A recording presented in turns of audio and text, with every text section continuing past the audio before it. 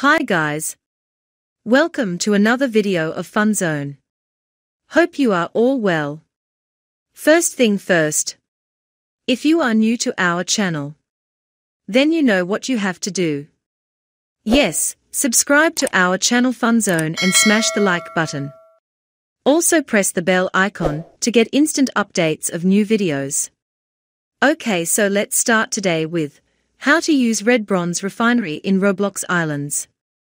The Red Bronze Refinery is an industrial machine, was added in October 3, 2020 update, more commonly known as the factory update. It is used to produce red bronze ingots from 30 copper ingots and 2 gold ingots each. Obtaining Crafting Red Bronze Refinery Red Bronze Refinery can be crafted with 100 steel plates, 250 copper rods, and 25 steel rods in Workbench Tier 3. The steel plate is an item used for crafting various factory items. It is made in the steel press and a plate factory mold along with 50 steel ingots. The steel press is an industrial item transformer added in September 18, 2020 update. It is used to turn steel ingots into steel bolts, plates, or rods with factory molds. Copper rods can be molded in a copper press, with a rod factory mold for 25 copper ingots.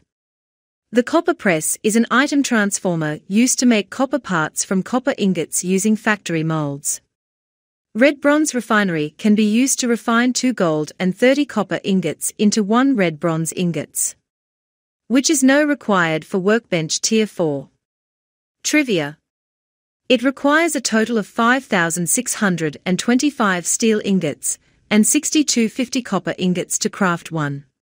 While the red bronze refinery doesn't require any level to craft, you need to be level 30 in forging to craft a copper press to make copper rods, and level 32 to craft a steel press for the steel plates. This machine's shape is exactly the same as that of the steel mill. We will be sharing more video on Roblox Islands and many other games. Also share this video with your friends.